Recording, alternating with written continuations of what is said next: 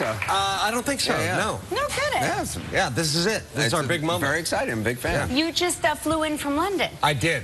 um, this morning, or I flew in last night. Okay. And uh, the weather is exactly the same.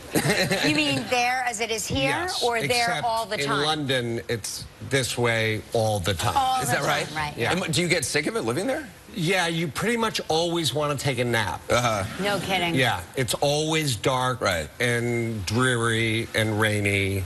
When the sun comes, do you just like run outside and try Actually, there was a little bit of sun that went through my window at one point about a month ago.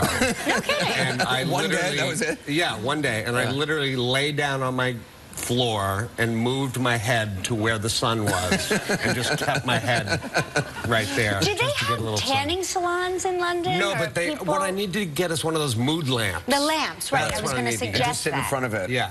Now, You're there for a play that you actually wrote. I did. I wrote Yeah. a play This called is the first time you've written a play. Yes, it is. I wrote a play called The End of Longing. Uh, well, I actually wrote it really quickly. I wrote it in 10 days. Oh my Wow. gosh. And then I've been rewriting it for about a year and Ah. getting notes and all that stuff, but it sort of flew out of me. Now, when you're in London, do you um, do you develop a British accent? I can't speak to anyone from England without changing my inflection.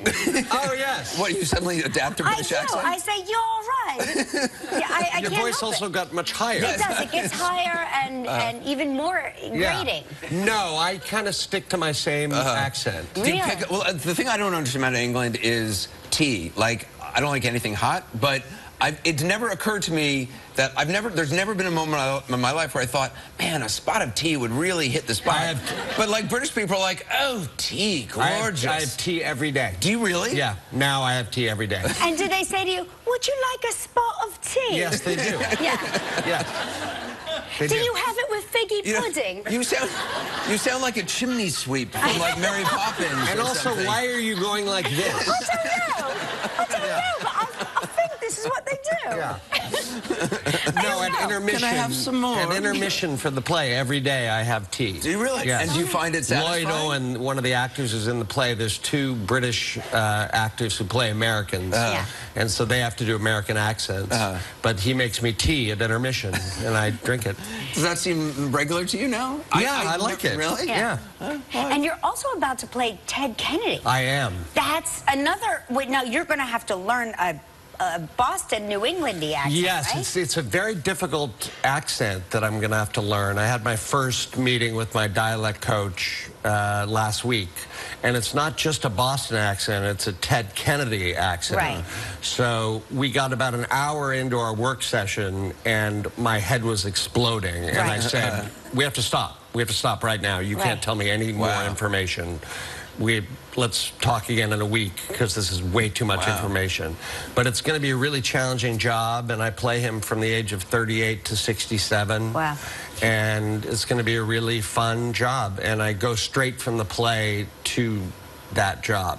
That'd so I don't have any Yeah. days off or anything. That's Uh, cool. well, well, we're excited to hear about that. We have to take a commercial break. We're going to talk to you about who got to play Oscar's father on The Odd Couple when we return. So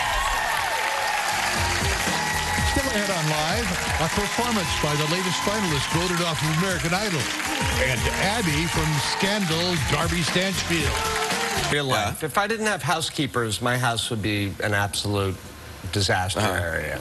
Were you nervous at all about doing that role? Because it's, I mean, I grew up watching, obviously, The Odd Couple on TV, too. I mean, it's such, such an iconic Well, it's iconic role. interesting. You don't like to think about this, but it's been 45 years since the original show was on. Now I feel old. I know. I feel very old. I'm sorry to do that to you. But uh, so I was sort of driving in my car one day, and I thought it would be a good idea to redo it Yeah, a whole 'cause it's been generation so doesn't know. long.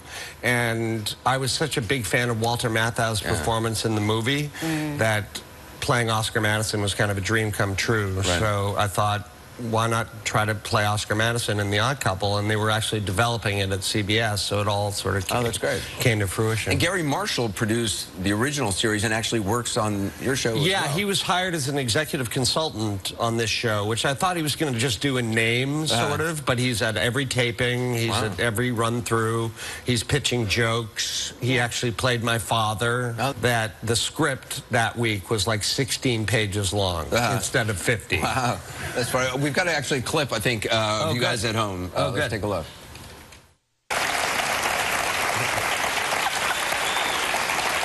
It's the second season of The Odd Couple. It premieres Thursday at 8.30 on CBS. Make sure you check out Matthew Perry and The Odd Couple.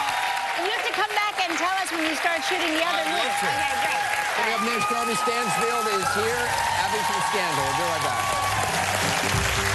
Tomorrow on Live, Cameron Diaz.